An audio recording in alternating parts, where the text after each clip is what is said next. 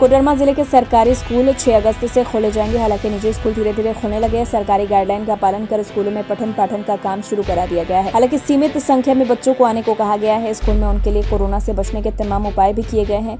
School खुलने के बाद बच्चे और शिक्षक में खुशी का माहौल है। बच्चों ने बताया कि महीनों इंतज़ार के बाद स्कूल खुला है। वो घर में रहकर बोर हो गए थे।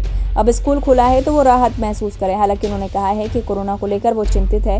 वहीं शिक्षकों ने दावा किया कि सरकार के तमाम निर्देशों का पालन करते हुए स्कूलों का संचालन किया जाएगा। बहुत दिनों के बाद स्कूल ओपन हुआ अच्छा लग रहा है पढ़ाई हो रही है हमारी। सैनिटाइजर और मास्क हम पहन के आ रहे हैं थोड़ा सोशल डिस्टेंसिंग मेंटेन हो रहा है। अच्छा है। कोरोना संक्रमण के बाद झारखंड सरकार का जो आदेश आया है उसके उपरांत सुभाष पब्लिक स्कूल के निदेशक ने